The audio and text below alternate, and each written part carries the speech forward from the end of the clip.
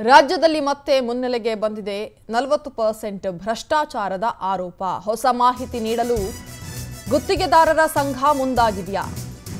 ಮಧ್ಯಾಹ್ನ ಹನ್ನೆರಡು ಗಂಟೆಗೆ ಕಾಂಟ್ರಾಕ್ಟರ್ ಅಸೋಸಿಯೇಷನ್ ಸುದ್ದಿಗೋಷ್ಠಿ ನಡೆಯಲಿದೆ.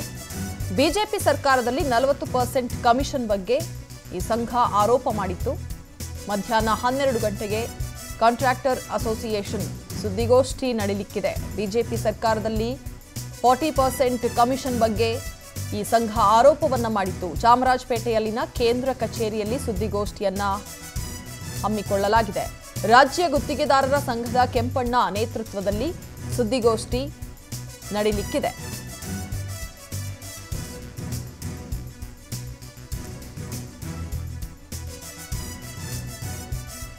ಇನ್ನು ಈ ಸುದ್ದಿಗೋಷ್ಠಿಯಲ್ಲಿ ಏನೇನೆಲ್ಲ ಹೇಳಬಹುದು ಅನ್ನುವಂತಹ ಕುತೂಹಲ ಒಂದು ಕಡೆಯಾದ್ರೆ ಇನ್ನೊಮ್ಮೆ ಹೊರಬೀಳುತ್ತಾ ರಾಜ್ಯ ಸರ್ಕಾರಗಳ ಅಕ್ರಮ ಡಿಜಿಟಲ್ ಮಾರ್ಕೆಟಿಂಗ್ ಕಲ್ತ್ಬಿಟ್ಟು ನಿಮ್ಮ ಪ್ರೊಡಕ್ಟ್ಸ್ ಅನ್ನ ಮತ್ತೆ ಸರ್ವಿಸಸ್ನ ಪ್ರಪಂಚಕ್ಕೆಲ್ಲ ಮಾರಾಟ ಮಾಡಬೇಕಾ? ಫ್ರೀಡಮ್ ಆಪ್ ಅನ್ನ ಈಗಲೇ ಡೌನ್ಲೋಡ್ ಮಾಡಿ ಡಿಜಿಟಲ್ ಮಾರ್ಕೆಟಿಂಗ್ ಎಕ್ಸ್ಪರ್ಟ್ ಆಗಿ. ದಾಖಲೆ. ಚುನಾವಣೆ ಸಂದರ್ಭದಲ್ಲಿ ಸರ್ಕಾರಕ್ಕೆ ಮುಜುಗರ ತರಿಸಲಿದೆಯಾ ಈ ಸುದ್ದಿಗೋಷ್ಠಿ? ರಾಜ್ಯವ್ಯಾಪಿ ಸರ್ಕಾರಿ ಕಾಮಗಾರಿಗಳು ಬಂದ್ ಮಾಡ್ತಾರಾ ಗುತ್ತಿಗೆದಾರರು? ಸರ್ಕಾರದಿಂದ ಸುಮಾರು ಇಪ್ಪತ್ತು ಸಾವಿರ ಕೋಟಿ ಬಿಲ್ ಬಾಕಿ ಹಿನ್ನೆಲೆಯಲ್ಲಿ ಎಲ್ಲಾ ಕೆಲಸಗಳನ್ನು ಸ್ಥಗಿತಗೊಳಿಸಲು ನಿರ್ಧರಿಸಿವೆ. ಸಂಘ ಕಳೆದ ಬಾರಿಯ ಸರ್ಕಾರ ನೀಡಿದಂತಹ ಭರವಸೆ ಇನ್ನೂ ಭರವಸೆಯಾಗೇ ಉಳಿದಿದೆ.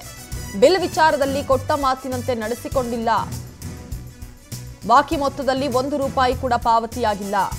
ಭ್ರಷ್ಟಾಚಾರ ಆರೋಪ ಮಾಡಿದ ಅಧ್ಯಕ್ಷರನ್ನ ಜೈಲು ಪಾಲು ಮಾಡಿತ್ತು ಸರ್ಕಾರ. ಭ್ರಷ್ಟಾಚಾರ ಆರೋಪ ಮಾಡಿದರೆ ಬಿಜೆಪಿಯವರು ಜೈಲಿಗೆ ಕಳಿಸ್ತಾರೆ.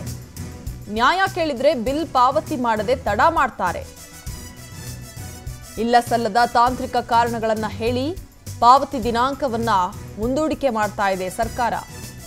ಈ ಹಿನ್ನೆಲೆಯಲ್ಲಿ ರಾಜ್ಯ ಗುತ್ತಿಗೆದಾರರ ಸಂಘ ಸಿಡಿದೆದ್ದಿದೆ. ಹಾಗಾಗಿ ಹನ್ನೆರಡು ಗಂಟೆಗೆ ಸುದ್ದಿಗೋಷ್ಠಿಯನ್ನ ಕರೆಯಲಾಗಿದೆ. ಈ ಸುದ್ದಿಗೋಷ್ಠಿಯಲ್ಲಿ ಯಾವೆಲ್ಲ ವಿಚಾರಗಳು ಪ್ರಸ್ತಾಪ ಆಗಬಹುದು ಅನ್ನುವಂಥ ಕುತೂಹಲ ಹೆಚ್ಚಾಗಿದೆ.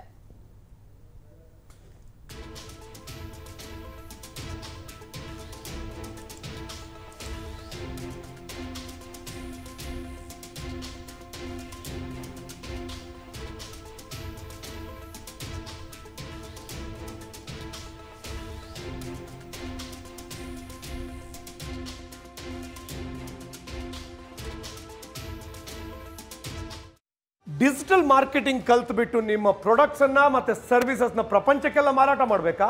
ಫ್ರೀಡಮ್ ಆಪ್ ಅನ್ನ ಈಗಲೇ ಡೌನ್ಲೋಡ್ ಮಾಡಿ ಡಿಜಿಟಲ್ ಮಾರ್ಕೆಟಿಂಗ್ ಎಕ್ಸ್ಪರ್ಟ್ ಆಗಿ.